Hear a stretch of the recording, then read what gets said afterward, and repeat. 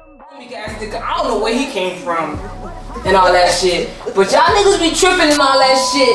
But afternoon, what the fuck? breaking news.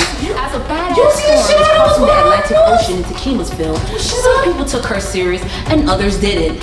Now we have Karen on the scene, who is there as the city is in roar now that she is here. Karen? Well, as you hear it now, it's going live on TV. People are Oh, y'all boys tripping! Oh what? Oh, babalik! Ang babalik! Wow!